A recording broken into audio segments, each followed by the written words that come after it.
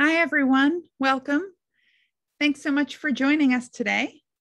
My name is Serena Longo, and on behalf of Harvard Book Store, I'm so pleased to introduce this virtual event with Jennifer Hochschild, presenting her new book, Genomic Politics, joined in conversation by Evelynn Hammonds. Thank you so much for joining us virtually this afternoon. Harvard Book Store's virtual event series continues this spring, bringing authors and their work to our community and our digital community. Find our event schedule at harvard.com slash events, where you can also sign up for our email newsletter and shop our shelves from home. This afternoon's discussion will conclude with some time for your questions.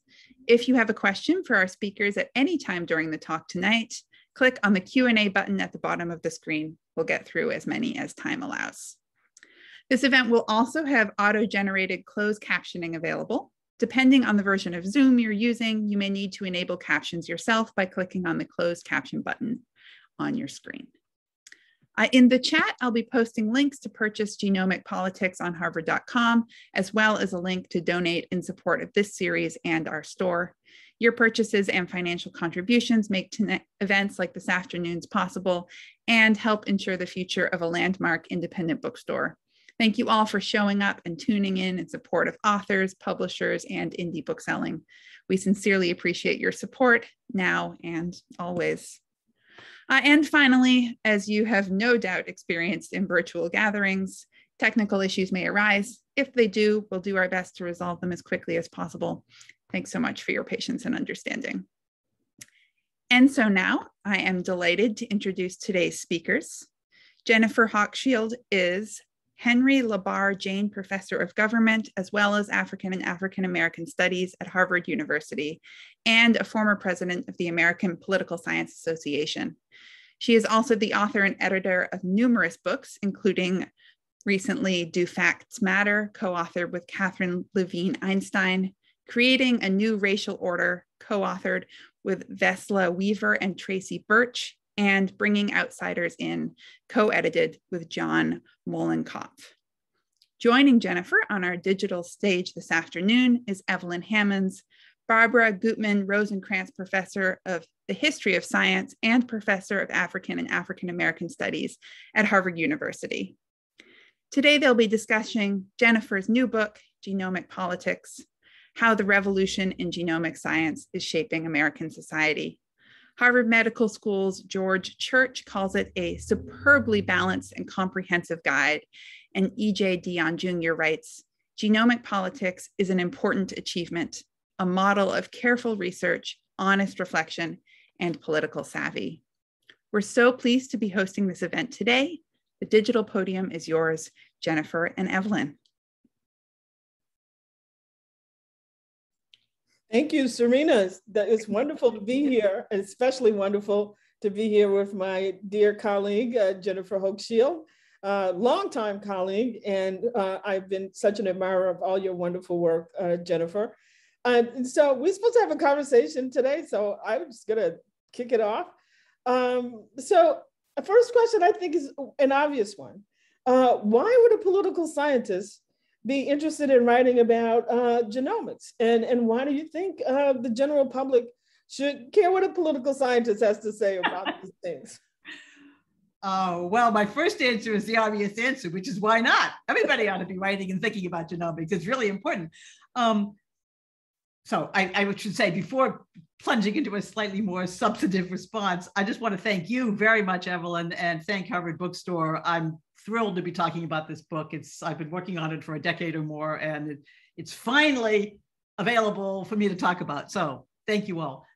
Um, I think there's two. Well, the first thing I would say is that there are very few political scientists, in fact, working on genomics or even more generally science policy. So that is the right question. Um, I, of course, am hoping to proselytize. I think lots of us ought to do lots more of it, but I can name on one hand the number of political scientists who are very fine scholars, but there aren't very many of us.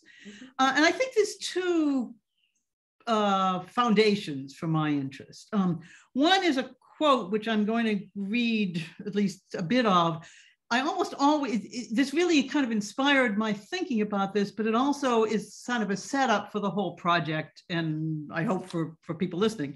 It comes from The Economist, written in 2007. So even before, I, before even I started working on this project, they say there is in biology a sense of barely contained expectations reminiscent of the physical sciences at the beginning of the 20th century. So, I mean, you're a historian of science. If you think back to physics, in 1920, sure. it was kind of just being invented. Uh, you know, Einstein, Schrodinger, Bohr. I mean, again, you you can list the eminences more than I can, but one could not have predicted in 1920 most of what physics was going to do across the 20th century. Right, of course not. Yes. nuclear weapons, flights to the moon, I, you know, starting with them and going on forever and ever. So the economist says it's a feeling of advancing into the unknown, a recognition that where this advance will lead is both exciting and mysterious.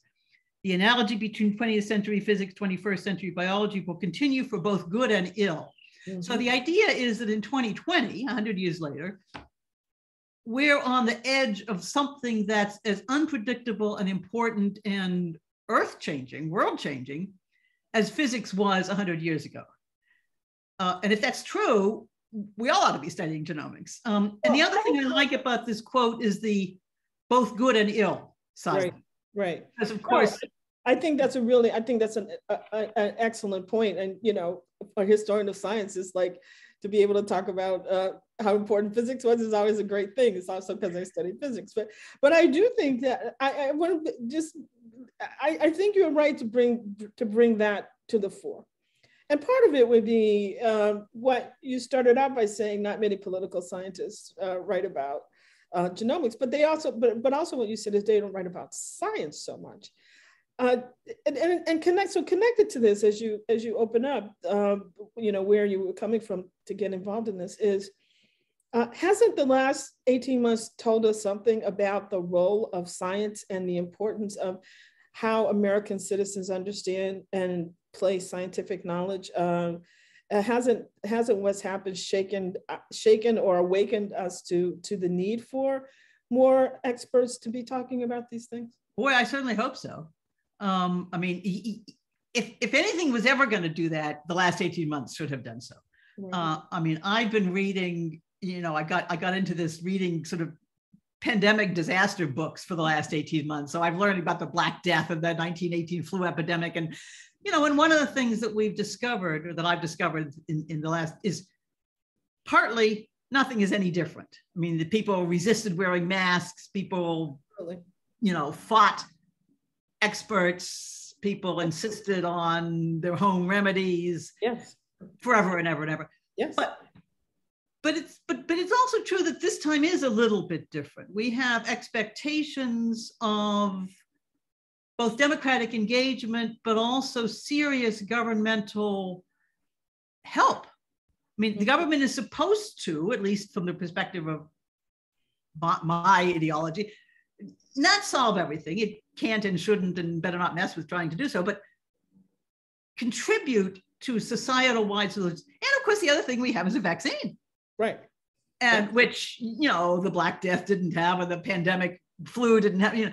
And so the politics of both what is exactly the same as it's been historically forever and ever, and what is dramatically new, unprecedented because of genomics, the vaccine is just totally fascinating. I will say that there are, I mean, I'm writing one and perhaps several articles with one of my wonderful graduate students about COVID and response to President Trump and the partisanship. And, you know, there's probably 75 of us all writing more or less the same article. So maybe people have finally gotten the message.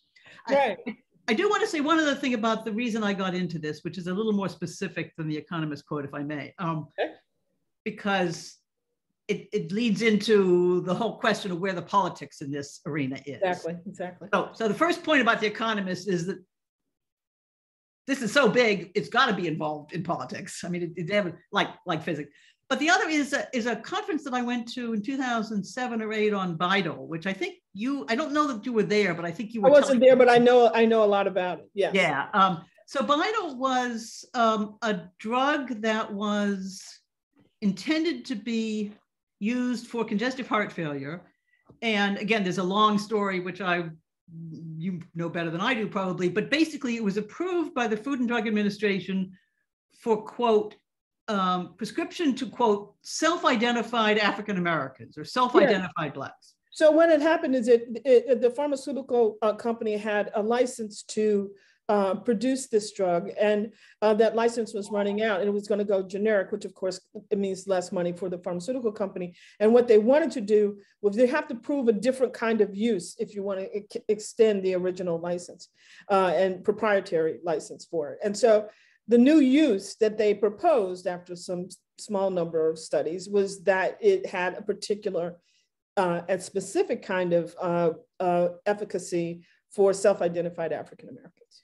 So I, I'm not a biologist. I had no knowledge of whether this was a even a nor my statistician, plausible or absurd. Um, so I went to it was a conference in I think it was in Arlington, and I sat in the back of the room and just tried to observe and hope nobody would notice.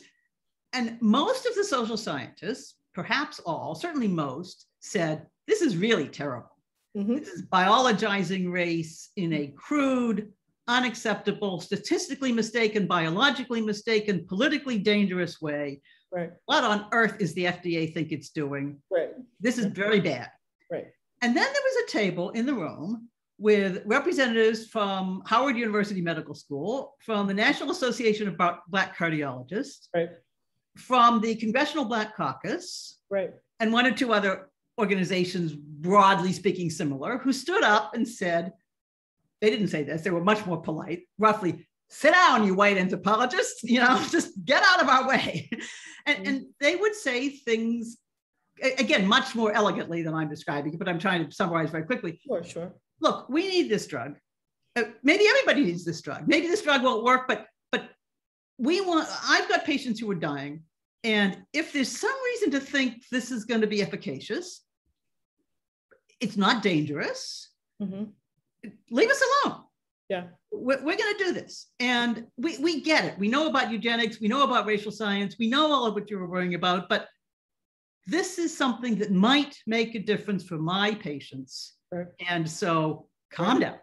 Right. And I found it totally fascinating because partly because I didn't know what the right answer was, and partly because these are people, back to the political science side of it, yes, all on the same side of the issue. Right. right. They, wanted, they all wanted better health care for Black people. Better health care for Black people, and were passionately committed to racial justice, to never, never, never going back to the old eugenics, racial science, racial hierarchy, white supremacist world that everybody was terrified that. So, so they all agreed, except on this drug. Yes. Um, and so, so that that's a political dynamic that I found really ex- very, very interesting from a scholarly perspective. It's very different from the way we normally think about politics. So I was completely hooked. no, I, I, mean, and it's a fascinating case, is it? And, and I don't want us to, you know, go too far down into it, but because uh, I want all of you uh, in uh, on this uh, on uh, watching us or being with us today to actually read the book because it's worth reading and it's beautifully written. So um, I, I, think though that there um, it, it, does raise the issue that I also wanted to, to, for us to talk about a little bit. How do we characterize something called partisanship? Um, I think you do it in a number of ways in the book. Partisanship. I, at one moment, I thought I understood it to be, you know, would, would the Republicans, would those who claim to be Republicans, hold on to this in a particular way versus those who claim to be independents or claims to be uh, Democrats or leftists versus conservatives or and so did you mean uh, so how expansive is your notion of partisanship in this? Uh, and and how did you see it playing itself out? Because you just described one where I'm, you know, so you, so it's it's a number of of of you know black professional organizations, physicians, who were like, you know, no, we just want something to help. We would like the benefits of modern medicine to come to Black people for a change and help them. And uh, largely group of white, not only, but not only, uh, anthropologists, politi- uh, uh sociologists, um, some biologists, uh, some public health experts were disputing, saying, but this opens a door that, that would take us down a slippery slope back to racial science. In fact, it is racial science. So um, how, how do you how did you struggle with uh, and, and you build into the book this wonderful frame for trying to grasp where people are on a sort of matrix of, of their political personal professional affiliations? I'm glad you asked. Thank you. Um, so so i started with you know partisanship in the narrow conventional sense as you described it democrat or republican the in if you run public opinion surveys two of the big empirical bases for the book are two surveys that i ran. And those mostly have a pretty cut and dry definition of you know strong democrat mild democrat independent yeah. mild republican or conservative strongly conservative or liberal mildly you know. So there's a kind of a the assumption that there's a single continuum and you're on one end or the other or something like that that's pretty much how political scientists tend to study partisanship. We all know that it's radically incomplete, mm-hmm. but 96% of Republicans voted for President Trump and 95% of Democrats voted for either Hillary Clinton or you know. So it works. Exactly. Well. So it is useful. it, it, works pretty well. And you know, if you look at abort, if you look at vaccine, well, no, that's a separate conversation. Set that aside. Anyway, but but it turns out partly from this BiDil experience partly actually from our colleague henry louis gates work on racial ancestry testing partly from talking to people about prenatal testing it it doesn't sort that way in right. genomic science mostly right. there are exceptions but in the forensic arena people mm-hmm. are passionately committed to the innocence project in which forensic dna databases exonerate now typically middle-aged or elderly black men, but they used to be poor young black men who had terrible lawyering. Yes, exactly. Falsely convicted.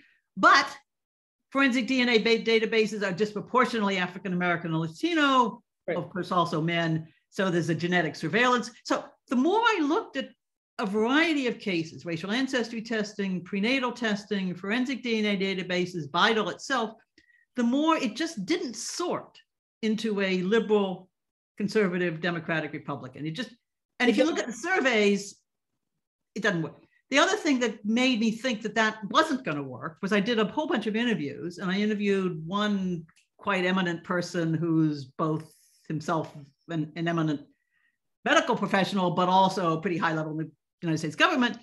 And he said, when I testify, and I, it was a terrible interview. I couldn't get him to talk about the politics. He uh-huh. just kept saying, no, there's no politics here. This is just science. And I kept saying, no. well, let me try this again. And, and he, he said, look, when I go testify on the Hill, my assistant has to tell me who are the Republicans and who are the Democrats and the committee that I'm testifying before. Uh-huh. I don't know. Uh-huh. I do know which ones of them have a serious medical disease in their family or among their constituents or uh-huh. so I walked out thinking boy, that was a failure of an interview. And I was so excited because this was a really important part. And, and that became, in some ways, the focal point for making sense of all these conflicts that didn't right. work. Right, right, right. So I ended up with a with a structure that's very different from that. Um, and again, without- basically, you're saying that you know it. So what he he astutely, uh, or he uh, in, in his practices, he was astute about the fact that bodies and disease and health, uh, there are moments where it transcends labels like or identity categories such as Democrat or Republican or political categories like Democrat. Same with the criminal justice system. And then you then you get you get, get people sitting on different sides based on family history, personal experience, um, commitment to some other sets of values, but it's not simple politics. It's, it's politics, but it's not simple politics. It's absolutely, and it doesn't map well. So my surveys show this. If you actually think about the cases, you're just same thing in the criminal justice arena. Mm-hmm. Um, my daughter, whom I describe as a you know radical anarchist feminist, and she says no, and I say, "What's wrong about that?" Huh? No, that's about right.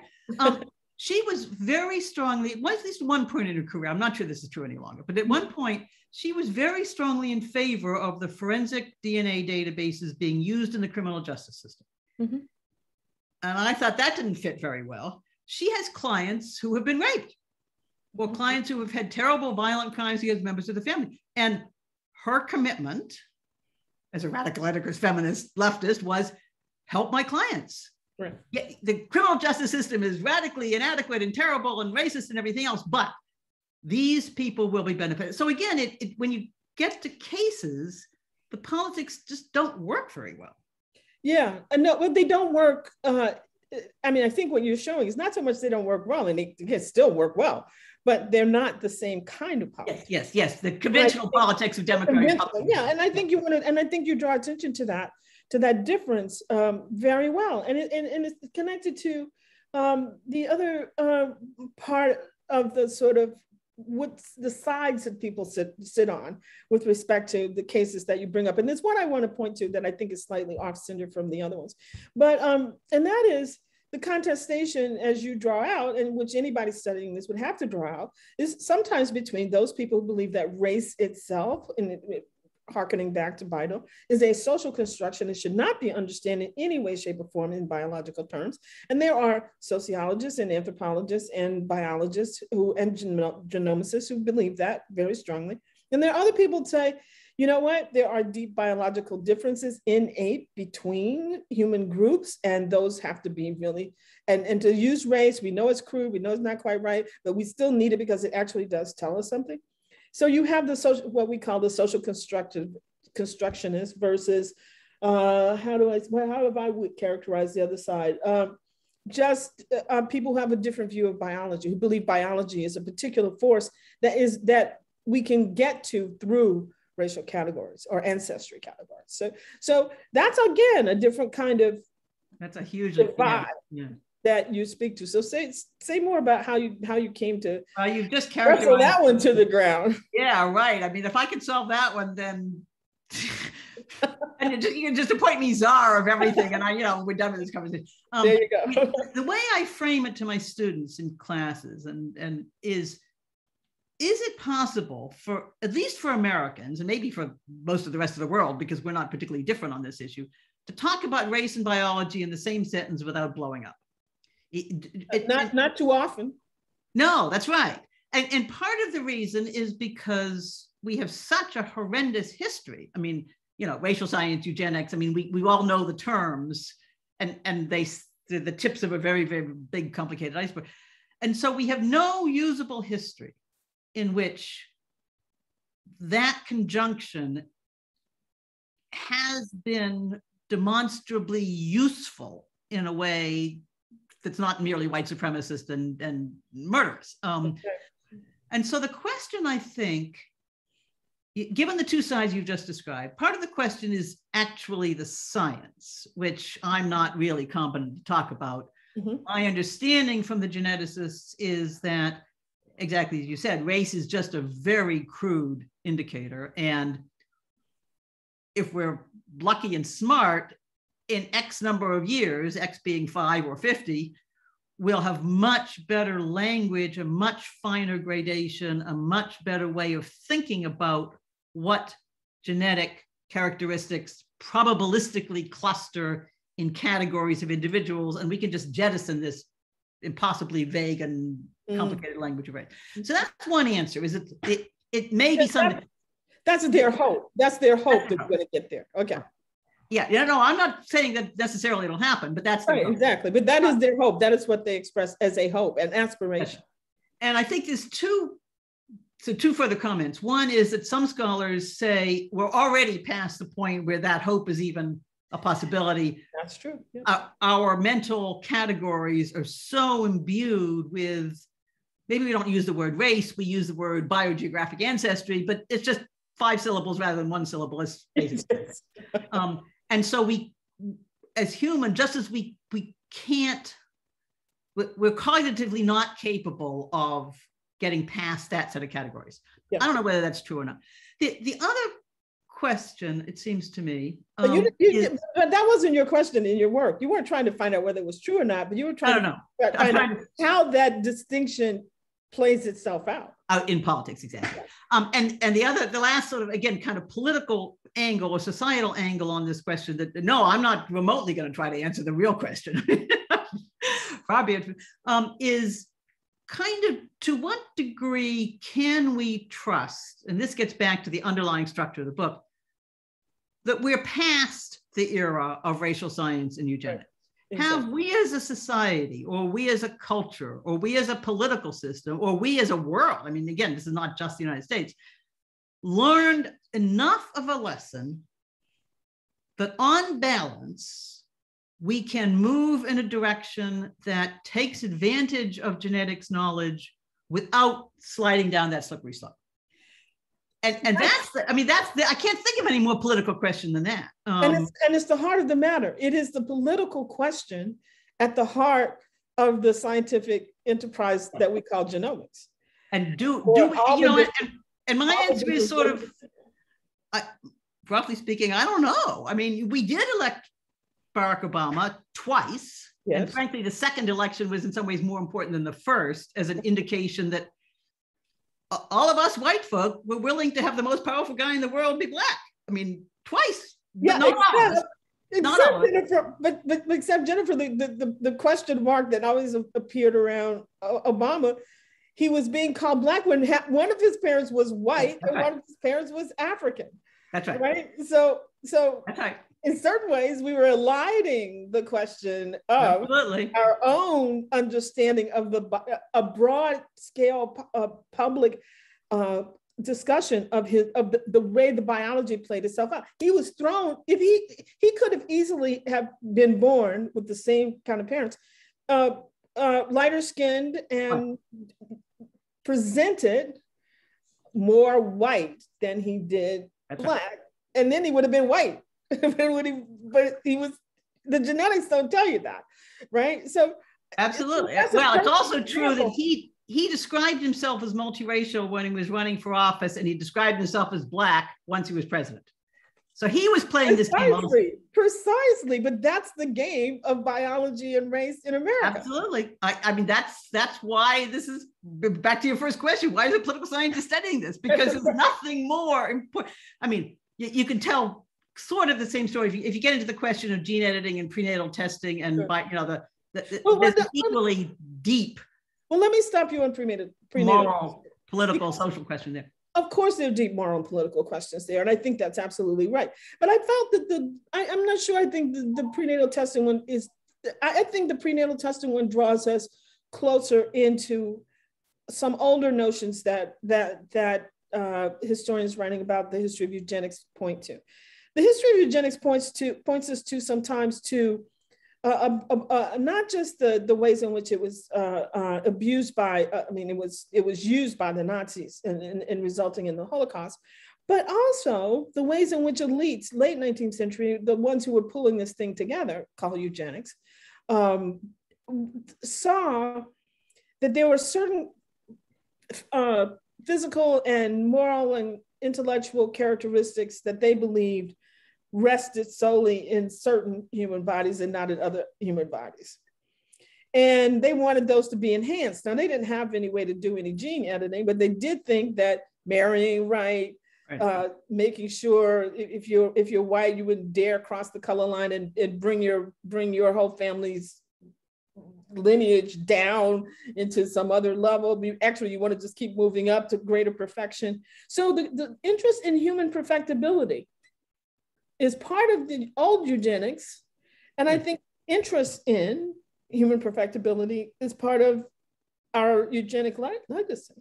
Yes, I, absolutely. There's no question of that. I mean, I think that's completely right. Um, part of what genomics is doing is broadening that legacy, history, set of moral conundrum, whatever it is that, that, that you're describing. Um, I mean, for example, Down syndrome, Yeah, right. is- right? There are many European countries, I think particularly Scandinavian countries, although not uniquely so, but also in the United States, where fewer and fewer, uh, again, the language here is so complicated, unborn children, That's right. fetuses, Yeah, it's hard to, it's hard to. whatever the term is, I'm trying to be as neutral as possible about the Exactly. terminology here Exactly. Who have been found, who, who prenatal testing demonstrates that they are, have a very high likelihood of being having Down syndrome when born. Right. And a very large proportion of, by now, I believe a considerable majority of those Parents. children, uh, uh, parents, thank you, are choosing to terminate their pregnancy. Right, exactly. That, that, again, I'm trying to use language. Yeah, yeah, yeah, I understand. Yeah, it's hard. It's hard, and I don't want anybody listening to this to start, you know, chastising us for our language. In in the book, Jennifer is very, very careful. It's harder to do this in conversation without spending all the time making sure we it's been parsed absolutely correctly. I just wanted to say that. Just, I, I, I did work very hard in the book to parse it. So thank you for noticing that. Um, because that's not an issue that that I mean the question of abortion and at what point life begins and so on is not directly part of my project. I mean that obviously it there are a few issues that are more important than answer, but anyway, but but the fact that we can now, we collectively as at least Western wealthy societies, choose to terminate pregnancies in which a child is likely to be born either with Down syndrome, which is not a horribly painful and early death. I mean, it's a Right. It is. By most conventional understandings, it's a disability, but by some people's understanding, it's not a disability. That's the difference. The difference. Um, and so talk about slippery slopes, right? Yeah. I mean, if, if we if if we believe it appropriate to terminate a pregnancy for for when the child is born, an extremely painful, short, horrible life, one might think that's morally acceptable, but yeah. not for a child with Down syndrome. And, and what I, about congenital deafness? Or what about, you know, et cetera, et cetera. So, so the prenatal testing raises issues that are certainly attached to the history of racial hierarchy and eugenics and positive eugenics as compared with negative eugenics and all of what you were saying. But it also has something of an independent life that's linked but not identical. No, I agree. I agree. I'm just saying, I, I thought that. And boy, that's a hard one. it's a hard one. I think it's a very hard one. And also because I think just sort of public understanding, uh, and I hope many other people follow your work, uh, because I think it's time for greater public understanding of these nuances that we're trying to finesse in this, this conversation, but that these nuances matter. And I think we've been talking about things like eugenics and that, as I said, that legacy of human perfect and the desire for human perfectibility, uh, it, it travels in our culture, it travels in our society. And, and how we think about it and how we act on it, uh, I think, is, is significantly important and probably, but it's hard to have those conversations if people don't really know how that history has, it manifests itself over time. And that takes me to the last question. I, I, just want because we should stop and let people ask some questions. But so, what's your, what what's the big big home uh, takeaway uh, point that you wanted that you wanted the book to to bring? Because you end with sort of classifying yourself as a sort of um, you called yourself a, a what did you say, mild enthusiast? A cautious, a cautious enthusiast. Cautious, yeah. I'm sorry, a cautious enthusiast. Whether that's a complete oxymoron, of course, is so. So I, am an academic, so I have to give you two answers. I can't give you just one, right? Um, so the, the first answer is more or less what you just said about we need language and we need categories and we need ways to talk about these issues, even if we can't yet resolve it. So that's basically what the book is trying to do. And I have four categories. It's a two by two table. One dimension is what essentially the first half of our conversation was to what degree does genomics shape important, not, not just individual diseases, but human traits, human behaviors, human possibilities. Yes. And it ranges from you think it matters a whole lot? Do you think it matters maybe some of the time, once in a while? Do you think it doesn't matter at all? That's roughly speaking the social construction debate. The, the other dimension is kind of risk acceptance and risk aversion. And that's where I was talking about there are both benefits and costs, the old economist for good and for ill. The, genomics will help solve, cure terrible diseases more or less quicker or slower with or without you know but but that promise is at least is out there mm-hmm. or genomics is basically going to reinvent racial surveillance through technology it's going to lead to a new eugenics mm-hmm. you know so so how much risk are you willing to accept in exchange for the benefits that are likely to occur as uh-huh. society gets more yes. and more? Yes. So if you look at it, if it's a two by two table like that, there's kind of four kinds of answers. And yeah. one of them is the, the enthusiasts. Yes, yeah. genomics matters. And yes, on balance, it's going to be more beneficial than harmful. That's roughly speaking the sort of the standard yeah. geneticists who can't wait to get to their lab in the morning because they want to do good for the world. They're not just trying to make a career and win a Nobel Prize. They actually believe that this is really helpful.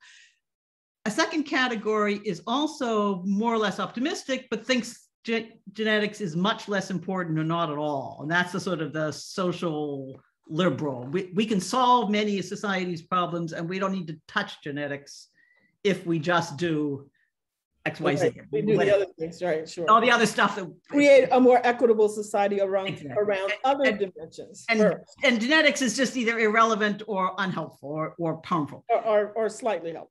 Yeah. A, third category are what I might call skeptics who think, yes, genomics matters, but basically it's more harmful than helpful. I, I, it's really risky. So, for example, the people who think that prenatal testing is effective, I mean, it's correct, they don't disagree with its science, but they think it's deeply harmful, for example, in the disability community. Sure. And then the final category is people who are what I call rejectors, and they basically don't like anything they're, they're deep. They, they think societal intervention is profoundly risky. They think genomic science is profoundly risky. They just leave me alone. Yes. I mean, yes. crudely speaking, it's libertarians, although again, that's a little yeah, too crude. Yeah, that's a little. So my answer to your question, this is around, I'm getting back to, is that I personally am what I'm calling a cautious enthusiast. On, on balance, I think genomics, genetics matters sometimes in some circumstances in important ways. I mean, again, I've got all kinds of caveats. And on balance, I think I, I want to be an optimist and say that I don't know whether the physics analogy works here for me or not. Uh, it, it's going to do more good. That that I want to be able to believe that people can use it for better more than they are going to use it for the worse. You are an optimist. Well, I, I said I want to. I, I, didn't say I believe. I said I want to believe. So ah, I'm okay. All right. Okay. okay. All right. I, I, I, got it. I, I understand the distinction. So my two answers to your question. One is I, I hope that this categorization actually will help people think about these complicated debates. That well, so. No, I think that I mean I, I appreciate your answer, and I do think that what you've done is you tried you've tried to break open what this is a really it's a really complex set of questions. And we often uh, many many scholars and researchers write, writing about this. We bracket some of the some complexities uh, because uh, it's too hard to figure on that one and maybe not too hard and easier to think with the other one. But then again they're all relate they're related in some fundamental oh, inter- ways. Intersectional to be right in, well i live an intersectional life so yeah. So i mean i think it's really about uh, uh, helping us to understand that these that in a in a democratic and multi-diverse um, society that these are these are and you know Foucault said it a long time ago and many other people have said it even better than he did uh, governance matters how we govern on these sets of things how we govern ourselves how the expectations we have of our government are, are things we're going to have to learn how to think harder about. And, and that's not, exactly my conclusion. My right? final, final answer to your question is we've all got to engage with this stuff. And we need, we need uh, what I hope are helpful categories for me or other people to develop a language so that we can talk to each other without either just withdrawing into our corners or being totally confused. Precisely. We, we want to avoid both. All right. I think I, I, think that's a, I think that's a, a, a, great answer. It's certainly one that I, I left the book saying I, I, really appreciated the way you did the end, where you really, as you said, came out from behind the uh, the uh, curtain at the uh, blind audition, and, and and you know you have at some point you have to take a stand and say what you what you want us to do with all this really fascinating, incredible um, stories that you've told us. Uh, as a political scientist. I got to needle you about that, but I so because I, but I think it's great. I think it's great. I think now we'll have some shared graduate students. All right, I would love to. Absolutely, which will be, which will be great, right? Let's do a course together. Okay, I'm ready. Uh, okay, so we have some questions. Uh, let me ask one. Uh, you, uh, this one is you talked a bit about how difficult it is to hold these discussions given the weighty charged nature of the topic. Do you have a recommendation for ways to have these conversations without delving into uh, non-productive emotional back and forth. Well, I think we just did that. And what do you think uh, about that question? Yeah, well, one answer is, of course, it's really hard. And once again, if I had the right answers, somebody would make me czar or something about that. Um, I, I think what I want to encourage is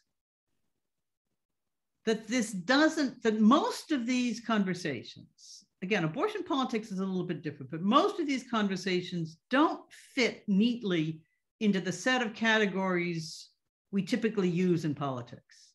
Mm-hmm. And if if each of us can think about our own, doesn't have to even be ambivalence, the our own our own complex response, mm-hmm.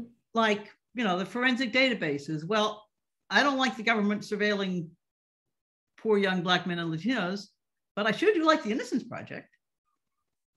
Um, yeah. And so if I can recognize my own mixed views, mm-hmm. maybe I can accept the idea that somebody else will have mixed views. Be- because this topic is not fixed in standard political categories, it gives us some space for engaging with our own uncertainties and therefore maybe with other people's. Yeah, and I think I think I think what you've illuminated about political categories is is right. But I think there's one that that I think over my experience of working on this these sets of questions for, for such a long time. It's often, there's also a, a problem of whose expertise really matters. And one of the things that's happened in ways funding of this of, of genomics research, the funding for basic research in genomics, it, it, it's, it's very expensive and it, and it has cost a lot to move it to the point where it is now. There's nothing equal to that in funding of the social sciences. Right. And that's a problem. And I think actually more funding for the social sciences. So there's not so much of a power imbalance of who gets to say that we actually experience. And that's part, part of the question that's come up that uh, and written to us twice. Who should have a voice on governance here? Uh. Uh, who will have a voice? And why does, and I would add, and why does that matter? What's your perspective on that? Because I'm concerned about that. I think um, you know, the reason we have the ethical, legal, and social implications, uh, ELSI, we shorthand ELSI studies that, that were funded out of some of the money for the Human Genome Project. Except it was a tiny slice of money, but it was the most money that ethical and ethics and legal and social science scholars had ever gotten for that kind of work. But it was still just a tiny drop in the bucket compared to the money that went into sequencing the human genome. Now, I think sequencing the human genome was an amazing and incredible and absolutely uh, uh, incredible uh, uh, success, right? But we, we can't keep making the sort of basic science get so much money. And then we, we think that the social and legal and ethical implications, well, we'll figure it out. We'll figure that out kind of. It, it, it deserves more. The balance is off in my view. Yeah, and, I- and so but your question of governance and, and that you raise in the book several times, I think is a really crucial one. Who's going to be at the table? How we how do we how do we sit the eminent Nobel Prize winning scientist next to uh, the person who's saying, you know what, my basement, Ida showed up last week and, and we lost everything because nobody's dealing with climate change. I mean, I, I'm going to tell you where my heart is and my interests are. How do we put these people together then?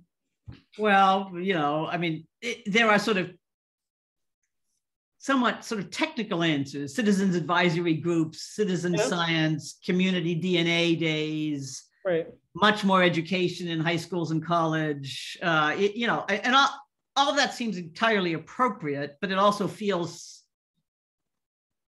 like an insufficient answer to the bigger deeper point that you're raising I think part of the answer, I, I have to say, I think part of what happened with the ELSI research is that it ended up in very high powered, very sophisticated philosophy departments and people, a whole new scholarship around bioethics developed, but it didn't, it hasn't had much of an impact on public discourse. No, I agree. About genomics. So, so I think more funding um, and certainly more funding for you and me um, and, and our colleagues, but but it needs a much more explicit and directed channeling, frankly, away from some of academics and into communities. communities or at least organizations. I mean, so so I have a, I think a couple of other answers. One is the point that you made a long time ago, and not a long time ago, a while ago in this conversation, is that families that that many people have very direct and immediate relationship to either medical genomics or criminal justice right. or ancestry right. or some so so that gives them a standing to sit at the table with a Nobel laureate and say, look, I don't understand what your science is, but but let me explain why this issue is so important and so frankly difficult for my family, my community, my and and unlike, for example, physics, yeah, where people have a very difficult time not just relating it to their person. I mean, I mean, something more serious. No, no, no, no. They, they really do. I mean, it's it's it's a basic, is a kind of physics takes you into the world, trying to understand, you know, how the world we inhabit all all inhabit together, how it actually works. It has long-term, sometimes, you know, explicit uh, uh, benefits that you can look to, including cell phones and all kinds of things. But um, th- that's not as that's not as doesn't have that um, it, it, it often is not presented in ways that touch people's lives so completely and so many people's lives. And, and I mean, you know, we all have a genome, right? I mean, by yeah, definition, genomics is a profoundly democratizing science in the sense that some version of genomics I don't want to say it's shaped my life because that takes us back to the question of biological causes, but, but uh, you know, I mean, the person sitting at the table with a Nobel laureate has just as much of a genome as a Nobel laureate does, right? I mean, and and so there's a kind of a uh, legitimacy to citizen engagement in a way that some other sciences, I think, don't have built into their yeah. very nature. In a way that I, I think I, I, I don't think that's an unfair characterization. I mean, you know, um, but I do think that uh, also the the benefits um, are so, uh, in many respects, seem so, uh, again, personal and immediate. Uh, in the last 18 months, we went from a, a disease, uh, an infectious disease that uh, little was known about, to one that we know so much more about in 18 months. And because of some developments in genomics, have some vaccines and vaccines, and in the history of vaccines, they were notoriously long to pull out and make and make a use. Yeah. And so the fact that this happened rapidly is due to science and technology. Yeah, and the, that, other, the, the other governance answer I would give just real quickly is there's a kind of an intermediate layer in society between the experts and the legislators and the you know people like you and me who have family members and who have some you know community society engagement um, there's a whole level you might call civil society or organizational society. I mean, this is an issue, again, in which not just schools and colleges and universities, but certainly they, churches, other religious organizations, um, yes. you know, there's a whole level, a whole mid-range of organizations, childcare, right because it reaches so widely, it all society has a legitimate place at that table. Uh, I think I, I, think it's I think that's right. On the other hand, I think one of the things we don't know how to do well is once we get people at the table, how we deal with some of the power imbalances uh, that our structure so far, our societal structure so far, have built into them about whose voice is going to matter the most. This is why the vaccine issue keeps coming back and disturbing people like me, because part of what the people who are vaccine skeptics are saying is some version of what you just said. Why should I believe those scientists? They've been wrong so much. So, I know what I'm going to put in my body and go jump in a lake if you don't like it. Exactly. I have a hard time saying that they're wrong. I mean, I, I, I have, I have an easy time saying they're wrong, but but the moral claim of my legitimate right not to listen to what those experts and authorities are telling me I ought to be doing is, is a hard claim to, it's a power imbalance. It, it on the wrong side. come we come to a conundrum right at the end of our time. But ah. and, and, there's one other really good question I uh, uh, on the table that that uh, that's been raised about you know what a question about what genomics we can talk about what genomics can do and might do and other things that we can't even imagine it could do. But but we also have to constantly pay attention to what it can and cannot explain. And i think that's at the heart of as well uh, this part of this uh, uh, of this uh, complicated um, nuanced situation that we that set of conversations we need to be having in a democratic diverse society. So, Jennifer, with that, I'll let you have the last word and then we have to close it out. Uh, well, I'd be happy to continue this for another six or eight hours if anybody, um, but anyone. Um, so I think that what we what it can't explain, I think there's a a very important, slightly technical answer, and then and maybe even more important, more kind of social and moral answer. The slightly important technical answer is that in fact, genomics can't explain very much about what we mostly care about intelligence, uh, musical ability, athletic ability, compassion, wisdom. I mean, all the things that really matter. Genomics has maybe 100 years from now we'll have more to say about it, but right now it it it doesn't touch, you know, most of most traits and behaviors that people care passionately about. Um, and the genomicists, I think, as far as I can tell, the, the even deeper answer of what it can explain is is a I'm not a particularly religious person, but there's a whole kind of, I don't know, spiritual, I mean, there's a whole realm of life, of society, of history, of culture, of values that, that don't reduce to material structures. Let's mm-hmm. even imagine that genetics could explain, say, intelligence or compassion or musical ability. Sure. That is, you know, if you have religious faith or you have some sense of mystery, this doesn't get at that. It's material. It's materialistic.